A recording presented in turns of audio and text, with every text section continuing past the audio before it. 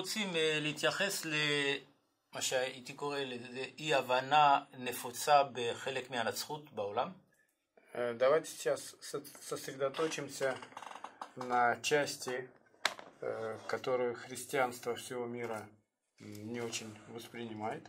וההבנה правильно. ההבנה הזאת אומרת שכן, ארץ ישראל הייתה שייכת ל... הייתה בשביל העם היהודי בתנ"ך, אבל עכשיו בברית החדשה אין כבר דבר כזה. И они, это понимание, они э, говорят, что хорошо. э, земля принадлежала Израилю во времена Ветхого Завета, а сейчас это уже не совсем так. והם מבססים בדרך כלל את הגישה הזאת ל- על אה, פסוק מסוים של ספר גלתים, И это мнение они основывают на определенном месте Писания, которое находится в послании к Галатам, פרק 3, 3 глава, ופסוק 16. 16 стих. Но Аврааму даны были обетования и семени его. Не сказано и потомкам, как бы о многих, но как бы об одном, и семени твоему, которое есть Христос. אז, אתם, אז הם אומרים, אתם רואים, אה, מדובר על זרע אברהם, אבל מבחינה רוחנית, כי הזה, המילה זרע Здесь היא написано. ביחיד ולא ברבים. Здесь написано «С- семя Авраамовое, оно не во множественном числе, а в единственном, но это здесь как бы духовное понимание. לכן לא מדובר פה על הבטחת הארץ לאנשים מסוימים, אלא על הזרע של אברהם, כלומר, למשיח. То есть здесь не говорится о том, что обетование земли относится к каким-то людям, но написано, что оно относится к потомкам и его семени, то есть к, ко Христу. וכמובן שזה נכון, אה, כי אה, כאן אנחנו רואים שפאולוס הוא אה, מתרכז על אה, אה, אה, הבטחה, הבטחה ל- למשיח. И здесь мы видим, как Павел сосредотачивается об обет- обетовании о Мессии. והוא מדבר על ישועת ישראל, И он говорит о спасении הוא Израиля. מדבר על, על הישועה באופן כללי. Он говорит об общем спасении.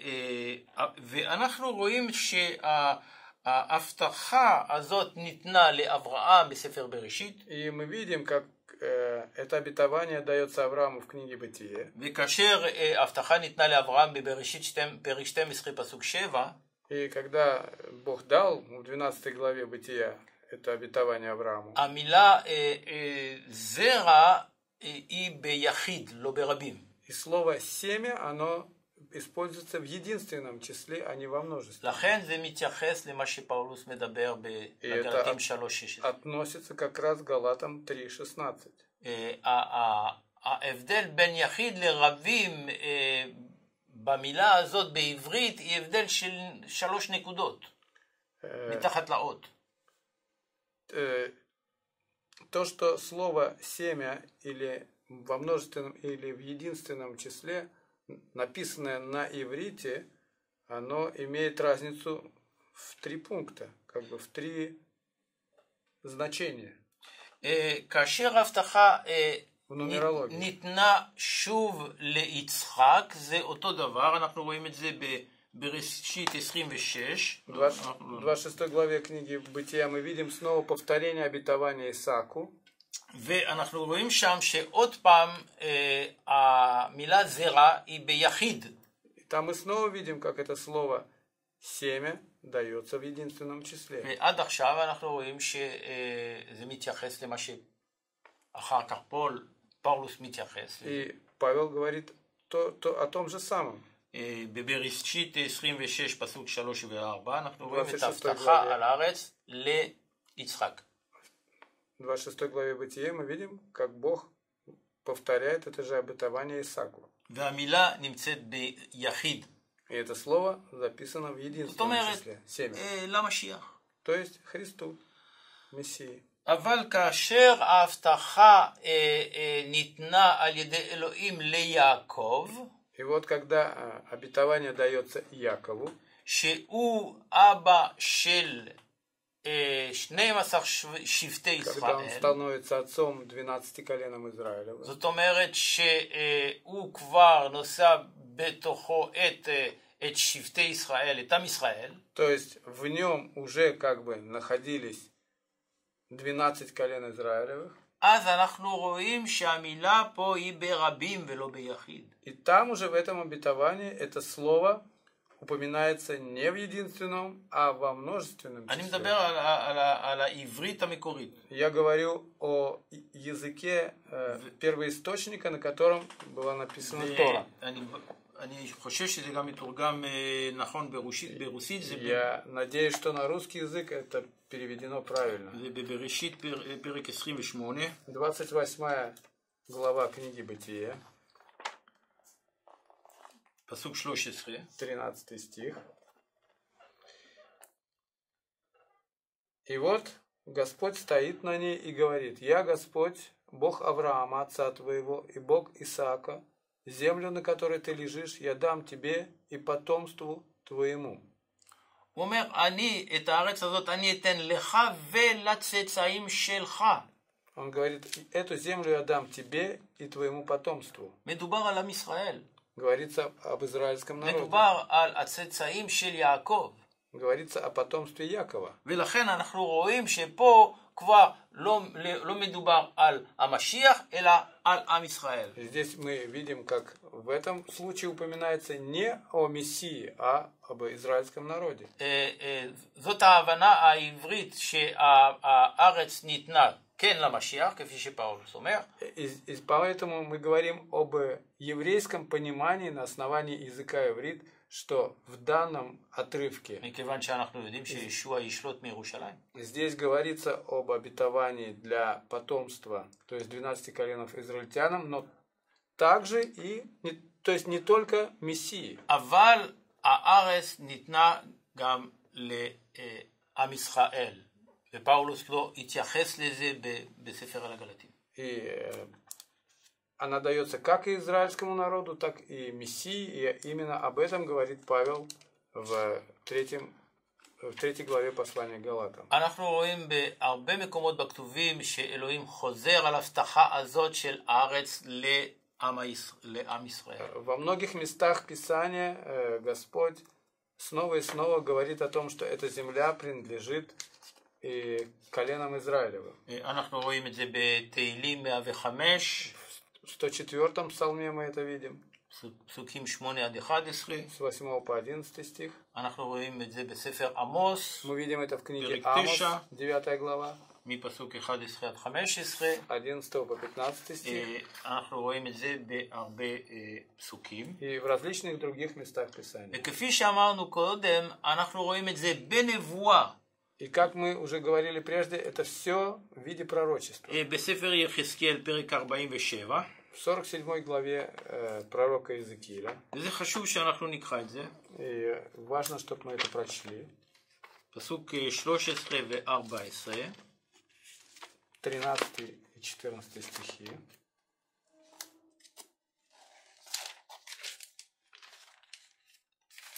פרק אה, 47, פסוק 13 13 ו-14 יחזקאל. Так говорит Господь Бог. Вот распределение, по которому вы должны разделить землю в наследие 12 коленам Израилевым. Иосифу два удела. И наследуйте ее, как один, так и другой, так как я, подняв руку мою, клялся отдать ее отцам вашим, то и будет земля сия наследием вашим. ואנחנו רואים פה שאלוהים כבר מבטיח את, שוב אה, אה, לתת את הארץ ל- לעם ישראל. И здесь мы видим, как снова Бог обещает дать землю израильскому народу. דווקא אם אנחנו אה, אה, ממשיכים לקרוא מפסוק אה, 19-20 והלאה, И если мы начнем, продолжим, вернее, читать с 19 стиха и дальше, אנחנו רואים שיש לאלוהים אה, אה, תוכנית עבור אה, ה- ה- הזר בארץ, הערבים למשל בארץ. и мы увидим, что в этом плане туда входят и э, арабские народы. ה- הארץ ניתנת עם ישראל, זאת אומרת הממשלה של הארץ על, על, לעם ישראל. То есть земля израильтянам, то есть правительство еврейское. אבל אה, כל אה, ערבי יכול לקבל את הירושה שלו בתוך הארץ. любой араб, он может получить наследие אומרת в этой земле. שהוא יקבל Он את השטח он שלו, может את העצי получить זית וכולי. землю, какие-то участки и тоже поселиться и жить там. ולכן אה, יש תוכנית שלום של אלוהים То есть בארץ. у Бога есть мирный план для израильской земли. לפי הגבולות שאנחנו רואים ב-40 ביחזקאל 47, В границах Иезекииля 47 главы. לא לפי גבולות 67, Не относительно границ 67 года. אה, תוכנית מושלמת של אלוהים, גם ליהודים וגם לערבים. Совершенный план не только для евреев, но и для арабов. ו, אה, אבל אה, היום אה, ה- העולם וגם חלק מהעולם הנוצרי רוצה אה, תוכנית אחרת. Но сегодня мир и часть христианского мира, они почему-то желают другого плана. ואני לא, רוצ... לא חושב שאלוהים יסכים. Я не думаю, что Бог с этим согласится. אלוהים לא משנה דעתו. Бог не изменяет своего мнения. יש לו תוכנית אה, מאוד טובה У него есть замечательный עבור план עם ישראל, для עבור הערבים израильтян, בארץ, для арабов. והבעיה שהאדם בדרך כלל רוצה את מה שהוא רוצה, Но проблема в том, что человек желает то, что он желает, כדי שהוא יקבל את הכבוד כמובן. чтобы ему самому получить всю בגלל славу. זה אנחנו רואים היום אה, אה, אישים מיוחדים אה, מסוימים בעולם שרוצים לקבל את הכבוד על השלום בארץ. Поэтому сегодня мы видим некоторых личностей, которые желают э, получить славу за то, что они достигают мира э, в палестино-израильском конфликте.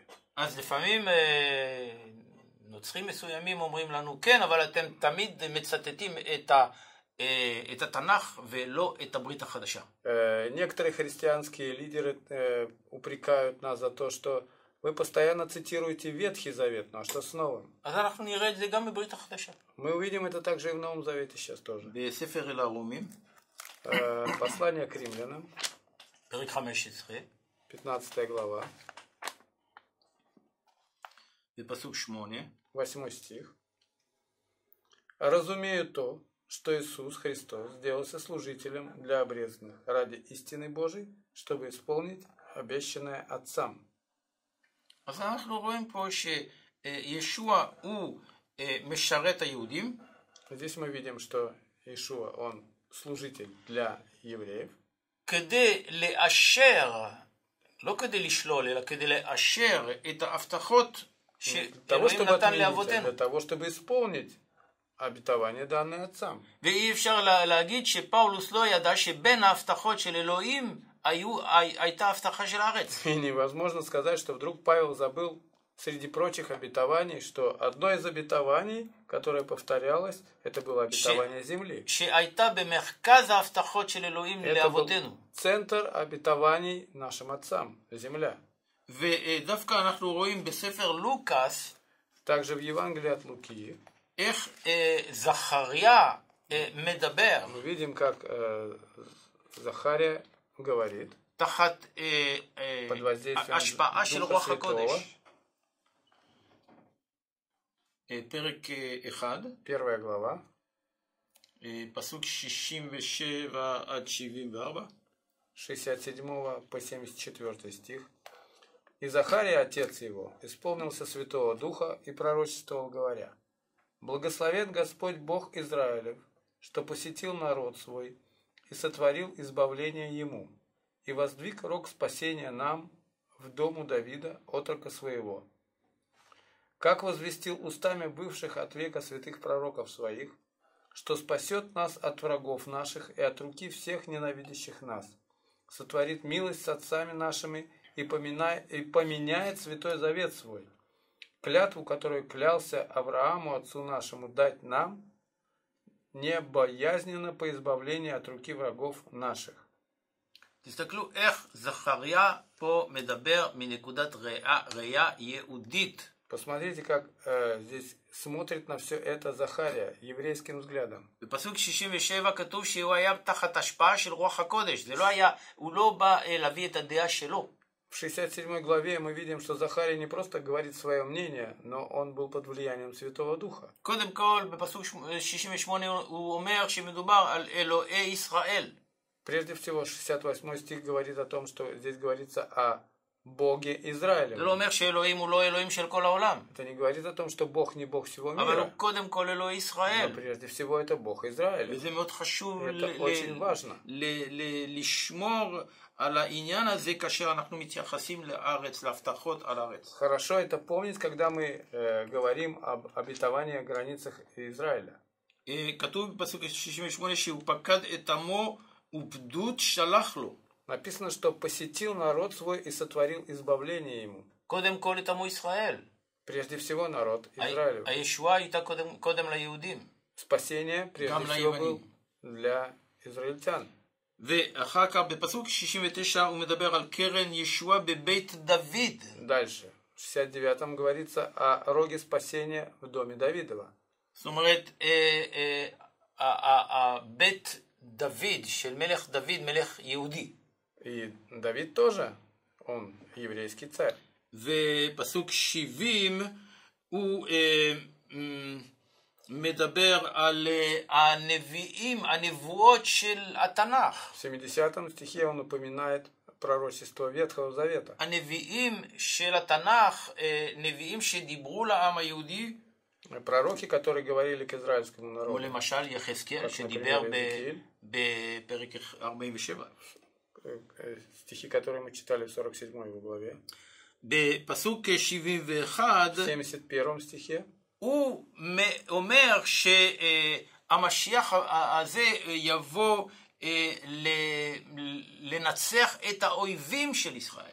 он э, говорит о том, что Мессия придет победить врагов Израиля. אלה ששונאים את Тех, кто ישראל. ненавидит Израиль. אנחנו קודם דיברנו על רוח הפלישתים Мы прежде והערבים. говорили о духе ורוח фалестимлян של и שנאה. аравитян. Дух ненависти. שוב, אנחנו אוהבים בשר ודם, Снова אבל мы אנחנו מבחינים בין בפלוטי. בשר לרוחות. и кровью мы любим, но мы разделяем между плотью и духом. בפסוק 73 הוא אה, אה, מזכיר את מה שנשבע לאברהם, מה שאלוהים, נש, אה, ש, אה, מה שההבטחות שאלוהים אה, נתן לאברהם. В 73-м он упоминает об обетовании, которое Бог клялся отцу Вес- Аврааму. ושוב בפ- בפסוק 74 הוא אומר שהוא четвертом בא стихе. אה, אה, להציל אותנו מאויב, Он должен прийти и избавить их от врага. ולכן זה מאוד רלוונטי למה שאנחנו רואים היום. Поэтому это очень подходит к тому, что мы видим זה לא сегодня. צירוף מקרה אתה ניסוי שאלוהים נתן אה, אה, ניצחונות בכל אה, מלחמות ישראל, Что Бог дал победу ניצחון לישראל. во всех э, войнах, э, которые были в Израиле. в אלוהים современном נ- Израиле. נלחם באותות ובמופתים נגד Бог воевал сам чудесами и знам- знамениями против врагов Израиля. וזה גם לא אה, צירוף מקרה שדווקא המקומות שבהם אה, אברהם קיבל את הבטחות על הארץ, Это не случайно, что именно в тех местах, то есть на тех территориях или территории, где Авраам получил обетование об земле, הם אותם מקומות שהפלסטינאים רוצ- אה, רוצים, это те места, которые сегодня хотят иметь в своем владении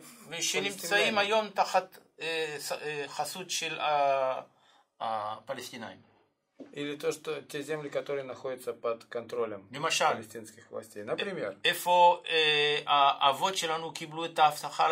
Где наши отцы получили обетование земли? В, в э, в Бетеле. Бешхем. Сихем.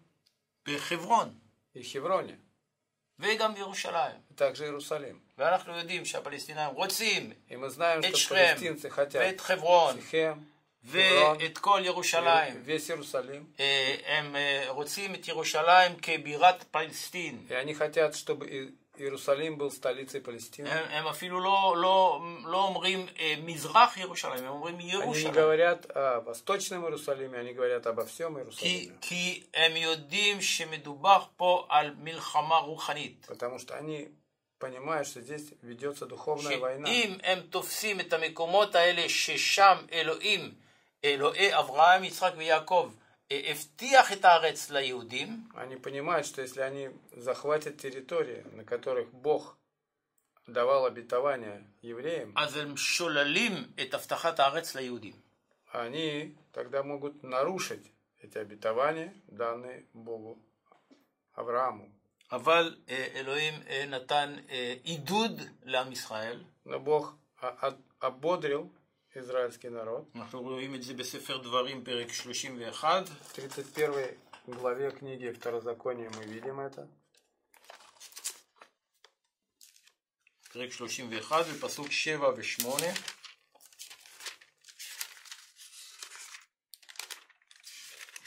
Стихи 7 и 8. 31 глава.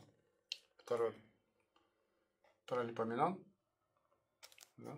פרק 31, אה, אה. ספר דברים, ספר דברים, Э, Второзаконие. ספר דברים, פרק 31, פסוק 7 ו-8. Вспомни дни древние, помысли о летах прежних родов, спроси отца твоего, и он возвестит тебе, старцев твоих, и они скажут тебе, когда Всевышний давал уделы народам и расселял сынов человеческих, тогда поставил пределы народов по числу сынов Израилевых. Это отрывок, который мы уже упоминали. אה, אני לא בטוח שזה זה, אה, שהוא אומר להם, אה, תהיו חזקים, ו... פרק 31, פסוק 7 А, ו-8. 31 глава. Мгм. «И призвал Моисей Иисуса, и перед очами всех израильтян сказал ему, «Будь тверд и мужественен, ибо ты войдешь с народом сим в землю, которую Господь клялся отцам его дать ему, и ты разделишь ее на уделы ему. Господь сам пойдет пред тобою, сам будет с тобой, не отступит от тебя, не оставит тебя, не бойся и не ужасайся. В седьмом стихе Бог говорит Иисусу, будь тверд Лама? и мужественен. Почему? Ибо тебе надлежит разделить землю для колен Израилю, не для врагов. והוא אומר לו, И он אני говорит אהיה ему, איתך, אני לא я אעזוב буду с אתכם. тобой, я не оставлю тебя. אכן, יש תוכנית של אלוהים. Мы видим здесь снова план Божий. התוכנית הזאת, כפי שאמרנו, היא מתפתחת והיא נשארת גם בנבואות. И, как мы уже сказали, оно развивается и остается в пророчествах. ואחר כך אנחנו רואים אזהרה И בכתובים, дальше мы видим предупреждение в Писании. אה, אזהרה לגויים שמתכוונים לחלק את הארץ, זאת אומרת למכור Предупреждение את הארץ. народам, которые хотят разделить или забрать землю себе. ואנחנו נסיים עם, הפ... עם הפסוקים האלה של ספר אה, יואל, И мы закончим это э, стихами из книги пророка Иаиля. פרק אה, שלוש בעברית זה... זאת אומרת, Третья פסוק אחד глава. ושתיים, אז פרק שלוש זה פסוק שתיים. Второй стих. וכי- וקיבצתי את כל הגויים והורדתי. «И я соберу все народы и приведу их в долину Иосафата, и там произведу над ними суд за народ мой и за наследие мое Израиля, который они рассеяли между народами, и землю мою разделили». פה, פה מה שחשוב זה לא, לא, לא רק שאלוהים ישפוט את הגויים, И здесь важно не то, что Бог будет судить народы, זה על מה הוא ישפוט את הגויים. но саму причину, за что Он будет их судить. על שני נושאים, Две вещи.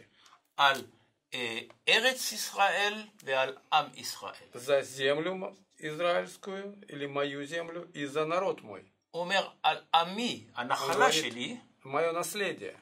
אבל על ארצי שהם חילקו. Но за землю, которую они разделили. זאת אומרת, לחלק את הארץ То есть разделять землю, לא לפי תוכנית אלוהים, это не в плане Божьем. אה, זה, אה, זה תועבה לאלוהים, Это преступление против Бога. וזה נושא למשפט של אלוהים. И это, זה סיבה למשפט. и это причина э, Божьего суда. והגויים שינסו לחלק את הארץ לה, לפלסטינאים, И למוסלמים, народы, желающие разделить землю, неважно для кого, для тех или для הם других, מסתכנים, они подвергает себя опасности. Потому что Бог приведет их за это на суд, и Он их будет судить. Потому что они воспротивились мирному Божьему плану, библейскому плану, и к которому мы должны прилепиться, а не противиться и какие-то представлять свои планы. אז עלינו לשמור על הדברים האלה כאשר אנחנו מדברים על אה, ה- הסכסוך במזרח התיכון, Все это мы должны помнить, когда речь идет о ближневосточном конфликте. נתפלל בצורה חכ- חכמה Молиться мудрым образом ונשמור על דבר אלוהים. и соблюдать Слово Божие. שאלוהים יברך אתכם. Пусть Господь благословит вас.